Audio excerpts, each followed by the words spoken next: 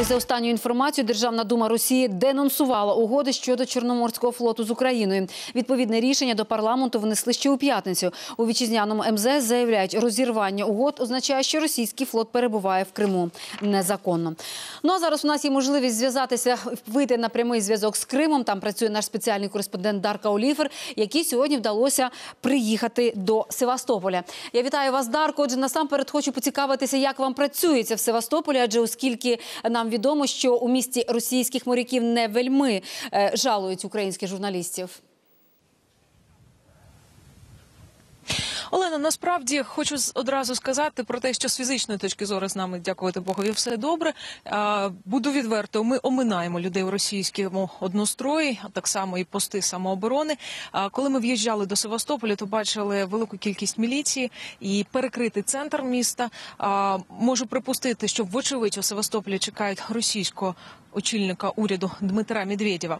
З точки зору українських державних інтересів, найголовніше питання, яке нині стоїть на півострові, це виведення наших українських військових до материкової частини України. За підрахунками Міністерства оборони, приблизно 5 тисяч людей хочуть це зробити, але цю цифру безпосередньо у військових частинах і безпосередньо у е, командуванні військово-морських сил України нам не підтверджують. Тож з офіційної остаточної цифри, скільки українців хочуть повернутися до України, у нас немає. А, також відомо, що 3 квітня на материк вирушать курсанти Академії військово-морських сил України імені Нахімова, а також вихованці військово-морського ліцею імені Нахімова. Хочу нагадати, що це ті самі хлопці, які коли на плацу перед академією піднімали Андреївський прапор, вони заспівали гімн України. Я сьогодні мала нагоду з ними поспілкуватися, і знаєте, Олена, буду відверто. Я навіть не знала, що такі хлопці, що такі люди взагалі ще існують. Дуже чесні, дуже чисті, дуже відверті у своєму прагненні і далі служити Україні, навіть попри те, що і флоту військово-морського в нас не залишилося, але вони все одно вірять те, що військова міць України буде відновлена. Хочу також сказати, що росіяни вже перейменували військово-морську академію імені Нахімова у в училище, і, попри свої обіцянки, пам'ятати і шанувати всі сторінки історії цього навчального закладу, вони вже порушують цю обіцянку. Наприклад, завтра, 1 квітня, святкується день академії, а українських курсантів там бачити не хочуть. Як нам натякнуло нове командування Чорноморського вищого військово-морського училища, вони не хочуть нас бачити на цьому святі. Тому сьогодні ввечері ті, хто має тут де жити, йдуть в звільнення, ті, хто не має, завтра зранку звільняються в місто. Загалом з приблизно 300 курсантів до України повернеться десь а, 70-80 людей. Вони вирушать до Одеси, де продовжать навчання в Одеській національній морській академії. Також хочу зазначити про те, що фактично. 3 квітня і е, вирушення військово-морських курсантів до України це єдина дата і єдиний підрозділ, про який відомо, що його будуть виводити. Хочу також сказати, що хлопці хочу ще раз наголосити на тому, що, попри всі негаразди, попри всі складнощі, попри приниження, попри дуже таке зневажливе ставлення з боку російського командування, наші хлопці тримаються і своїх колег, своїх однокурсників, які тут залишаються і продовжують навчання вже у складі російських військ, вони не засуджують. Рішення було вибирати важко. Дуже хочу залишитись моряком. Ну і буду для цього прикладати всі зусилля. Напевно, може, колись повернемося. Ну, думаємо, це не скоро буде. Думаю, ми вже є, якщо і повернемося, то вже і не будемо курсантами.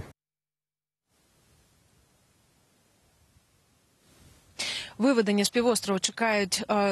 Кілька сотень українських військових, зокрема, це і батальйон морської піхоти у Керчі, це бригада берегової охорони у Перевальному, це решта військових з військового аеродрому Бельбек, частини яких вже вирушили на материк. Хочу також наголосити на ще одній дуже великій проблемі, яку показав минулий тиждень, коли перші частини українських військ вирушали на материк. Проблема полягає в тому, що на Чонгарі під час так званого митного прикордонного контролю між Автономною Республікою Крим та Метроковою Україною з російського боку наших військових.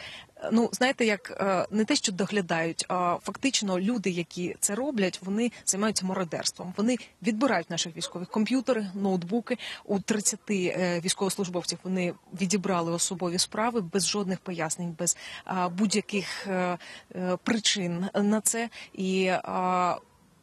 З огляду на це наші військовослужбовці, які а, мають ще попереду цей шлях, подола, які мають ще подолати цей шлях повернення до України, звер... хочуть звернути увагу всіх а, посадовців в Україні. Які так чи інакше відповідають за цю справу, по-перше, не зволікати, а по-друге, зробити все можливе для того, щоб цих знущань, цього мародерства можна було уникнути. Олено. Е, Дякую, Дарко. І буквально ще одне запитання. Мені цікаво, яка взагалі обстановка і атмосфера в Севастополі? Чи багато є людей у формі, чи багато військової техніки? Як взагалі, яка обстановка в Севастополі зараз на вулицях? Але насправді дуже спокійно. Е, Єдине, що така досить. Незвична відмінність від звичайного дня в цьому місті це дуже мало людей на вулицях. Важко сказати, чому так відбувається. Також я побачила досить таки великі черги людей біля відділення Сбербанка Росії.